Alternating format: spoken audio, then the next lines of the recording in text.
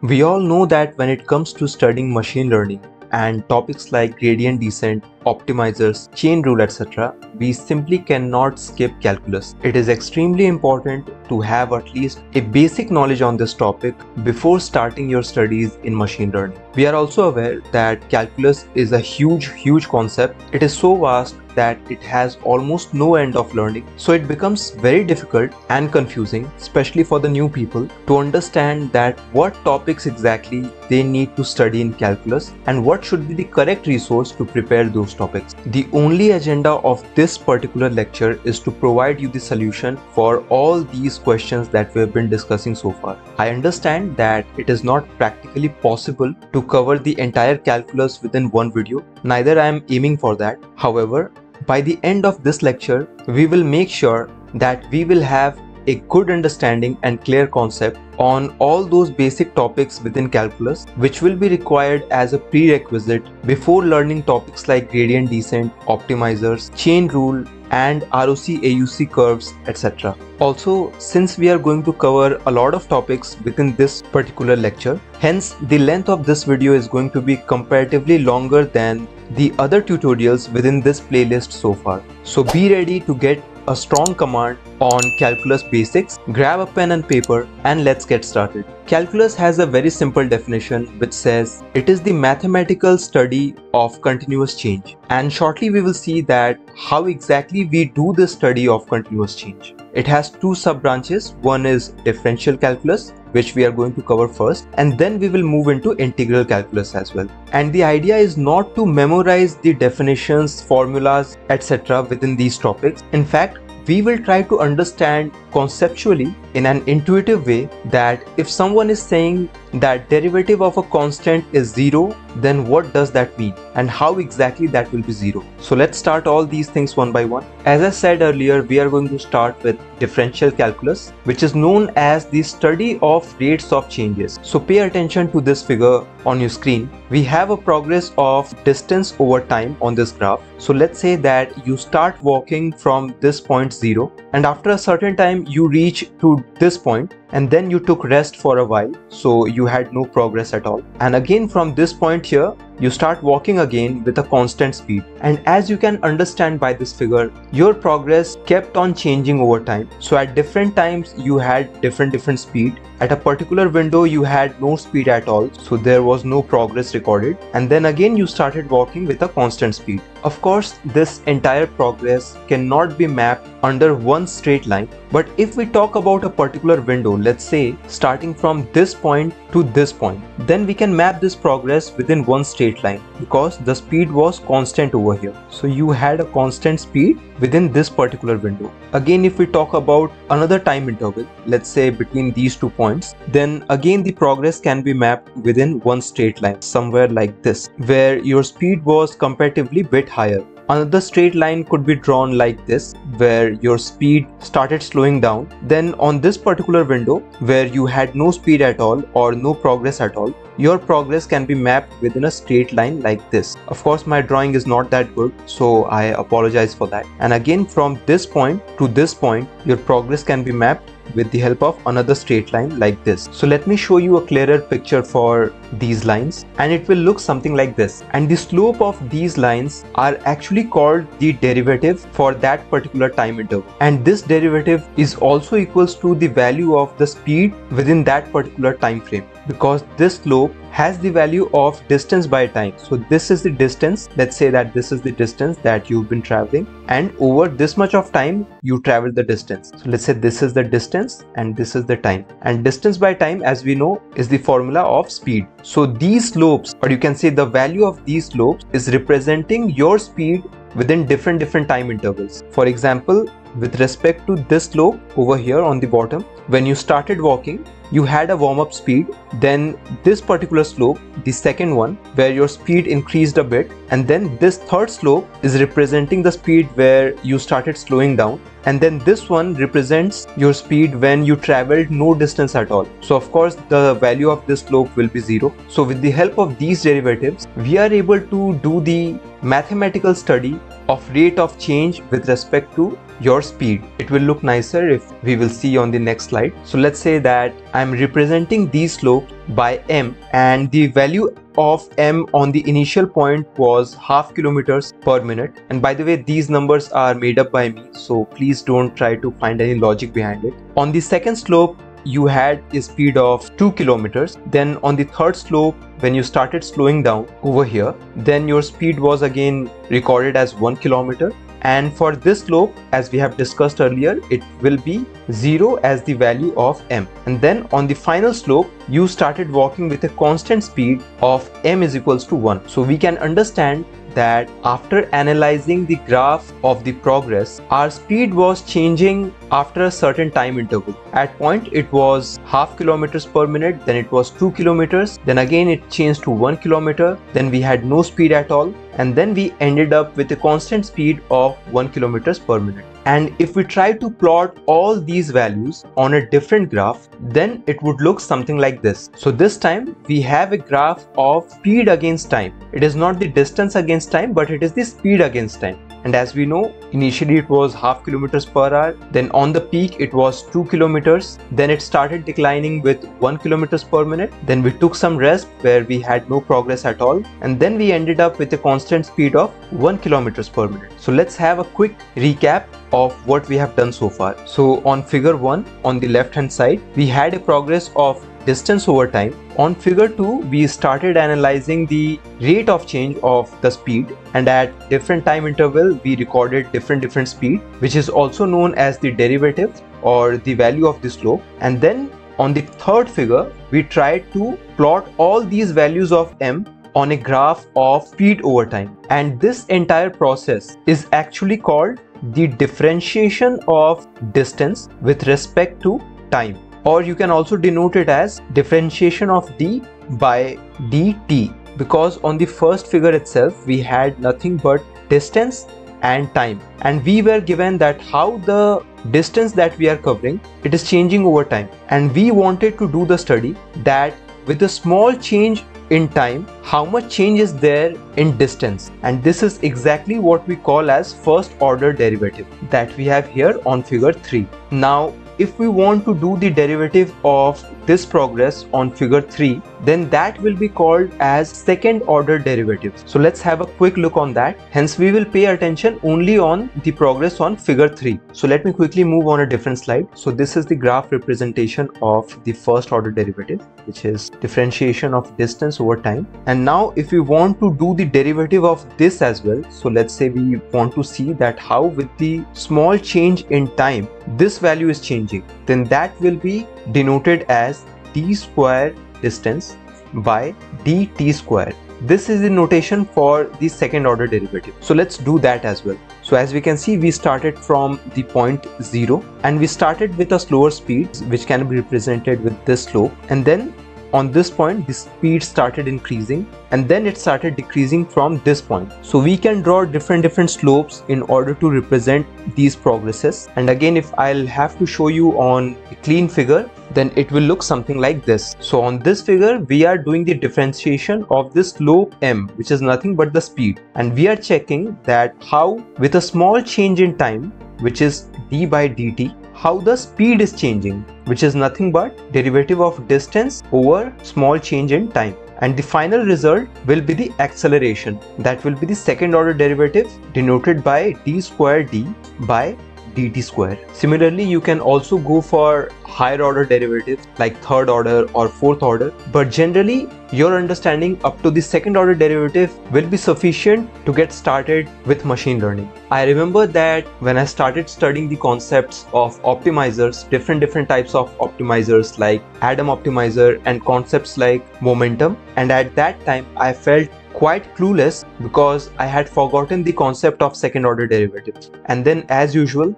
I had to fall back to my mathematical studies. Although I had already studied these concepts back in college days, but since I lost touch for few years, I tend to forget the concepts. But I hope that after understanding this lecture till this point, you will not face the same issue as we discussed. And let's move forward. So we have seen that what is the idea behind calculating the first order derivative and second order derivative. And now let's change our gears into integral calculus, which is pretty much correlated to what we have been discussing so far in differential calculus. So as we know that this acceleration, which is also the second order derivative for the progress of distance over time, if we pay attention to this figure and if we try to observe the area within these curves, like we have some area over here and we also have some area over here these areas can also be represented as the total distance traveled. So on the both sides, we can understand by the figure that going by the area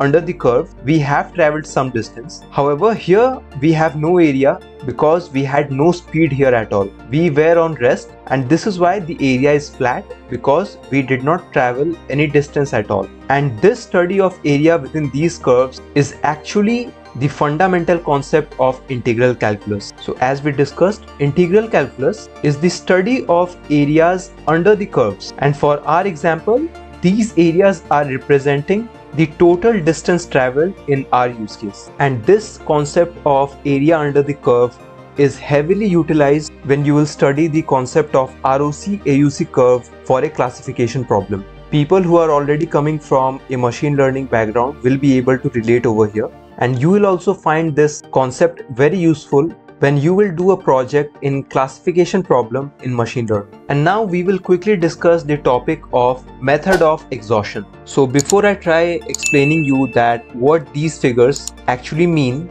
that you can see on the screen, let me draw a rough diagram over here where we have some progress like this. So again you can see on this figure our progress is changing over the time and the rate of change is different in different different points. So if we talk about this particular time window from starting point till this point over here this progress can be mapped within one straight line like this. Again we will need another straight line where we will represent this decreasing speed over here. Then with the help of another straight line we will represent this point where we had no speed at all and then this one where we have a constant speed. So for this particular progress we were able to cover the entire graph with the help of 4 to 5 derivatives. But let's say that you want to find the derivative of a circle like this one. In that case, for each and every point of this circle, you will have to draw a slope which will just touch the point in order to get the derivative. Then again for the next point you will have to draw another slope like this. Then again for the next point you will have to draw another slope like this. And as we know there will be infinite number of points within this circle and hence the slopes that we will need to draw in order to find the derivative will also be in a count of infinite. And this is the concept of method of exhaustion. So on the first figure that you can see on the bottom left, in order to find the area of this circle, if you draw only these four lines, you can get the area of this square but you will also end up missing the areas outside the square which is a part of the circle. So of course this square is not giving you the complete area of the circle that we have. You can draw a hexagon and even if you calculate the area for the hexagon you will still end up missing some points. Even if you try to calculate the area of an octagon you still won't be able to get the exact area of the circle and hence you will have to draw infinite number of slopes on the last circle in order to get the exact area for it. So this is a quick topic that I wanted to cover. The understanding on this topic will come very handy when you will study the topic of gradient descent. And it is the pretty much extremely basic things that we need to know in calculus before moving into machine learning. Of course, the scope is endless that how much you can study in calculus. But if you are able to understand these small things like first order derivative, second order derivative, integral calculus, etc., then comparatively your learning curve will be very very smooth. Now let's quickly talk about the applications that we have been anyways discussing throughout. So differentials are heavily used for finding the maxima or minima of a curve let's say that you have a curve like this then if you keep on finding the derivative of different different points like here here here and here then here then we know that all these slopes which we also represented as m has some value on different different points and the point where m has the lowest value let's say 0 that would be called as minima. And the point where m has the highest value let's say this one that could be considered as maxima the concept of higher order derivatives is used in optimizers and there are different different types of optimizers but more or less everywhere you will find the applications of second order or higher order derivative where we are doing nothing but trying to find the derivative of another derivative. The concept of integral calculus is used for ROC and so on. So application is not only limited to these pointers but these are the major topics in machine learning where the understanding of basic calculus will be pretty much required. Now let's discuss few important rules in derivative that you should always keep in mind. First is derivative of a constant. So let's say you are trying to find that how the value of y is changing with the small change in x. In that case, if y is a constant, then the derivative for this will equals to 0 and it also makes sense because let's say if we have a plot of y against x and let's say the progress looks something like this which means for any given interval there is a change in x. However the value of y is absolutely constant. It is not changing over time. In that case of course if we try to draw a slope the value of this slope will be equals to 0 but let's say the value of y is varying over the time it has some variation. In that case, if you try to draw different different slopes, then all these slopes will have some value. Maybe for a straight slope, it will be 0, but for all the other slopes, the y will have some value. And this is why for any constant term, if you will try to find the derivative, the value or output will always be 0. And then let's understand about the power rule. So the power rule says that if we try to find out the derivative of x to the power n, first the value of n will come ahead of x and it will be multiplied with x to the power n minus 1 which means that let's say we want to find out the derivative of dy cube with respect to dx then it will be 3y then 3 minus 1 which is y square. And then we have the constant multiple rule. So let's say you want to find the derivative of cz with respect to x and let's say that c is a constant then first you take out c from this derivative and then you will have to do the derivative of only z and you will get this. So let's say that the value of c is 5 which is constant and the value of z is x cube. So we need to find out the derivative of 5x cube. Then 5 will come out of the calculation and for x cube as we know by the power rule derivative will be 3x square and 5 multiplied by 3x square we will have 15x square. Now let's quickly cover the sum rule. So let's say we need to find the derivative of y plus z with respect to x. So y plus z is the function of x which means with the small change in x the change we will have will be y plus z. So we will need to do the derivative of y and z separately like we are doing over here and their sum will be the final output that we require. So let's say the value of y is x cube and value of z will be x to the power 5. So we will have to do a separate differentiation for both the terms and then we will sum up the output as simple as that. And the product rule is also pretty much similar to the sum rule. So let's say that y multiplied by z is the function of x. In that case of course we will have to do the derivative separately for both of these terms. But when we are doing the derivative of the first term the second term will be considered as constant. So here you can see when i am doing the derivative of y i have kept z as constant and then keeping y as constant i am doing the derivative of z. And the final output will be the answer. And then we have fraction rule. So let's say that w by z is the function of x. Then the derivative calculation has to be done in this way. So all we are doing is we have multiplied z on both the sides. So on bottom we have z square and on the top we will get wz so when we are multiplying it on both the sides we will have wz here and z square at the bottom. So we will keep the denominator as constant which is z square. And on the top where we have wz we will apply the product rule that we have discussed earlier. And then finally, let's discuss about the chain rule. This idea will come really really handy when you will study the forward and backward propagation within gradient descent or optimization. But let's discuss first that what is the need of using the chain rule. You can see the value of y is a complicated term and it will be very difficult to calculate the dy by dx directly over here in this case. However, it can be simplified a lot if we break down this value in two parts. Let's take the internal part first, which is 4x cube plus 5 and let's consider it as u. In that case, it will be very easy to find du by dx and then we can consider this entire part as u square and considering the value of y as u square again it will become very easier to do the derivative of y as well. So let's first take the internal part which is 4x cube plus 5 and we consider it as u.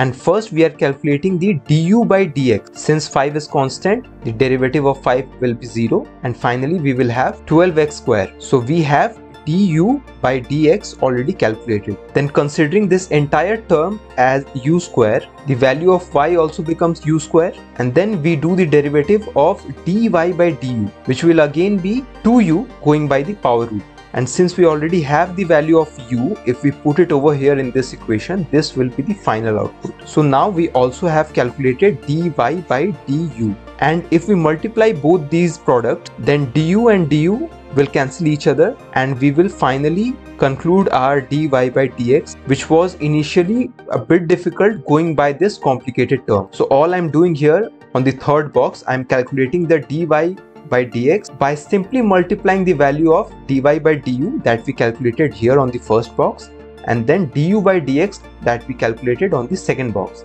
and the product of these two outputs will be the final answer for dy by dx. Again I'm saying this idea and this concept of chain rule is extremely extremely useful when you will study forward and backward propagation and optimization within gradient descent. So if you understand this topic, then you will have a good foundation, strong foundation in order to study the ML concepts. And that is it for today's lecture. I understand that we have covered a lot of topics within this particular lecture, but you will realize that how important all of these things were once you move into machine learning. Or if you are already coming from a machine learning background, then most probably I don't have to explain anything to you. You already know how important all of these topics were. I would also suggest that you save this video in your YouTube playlist if you have a playlist in your YouTube account. Otherwise, you can simply save it in your watch later list because going forward, maybe after a couple of months, if you tend to forget any of these concepts, then you can simply fall back to this lecture. Let me know your thoughts in the comment box if you found this video helpful. Also, let me know if you find any kind of problem in terms of my explanation or way of teaching. I will try to improvise accordingly. Subscribe to the channel and drop a like below to support our work and hopefully I will see you in the next lecture. Thank you very much for your time. Take care.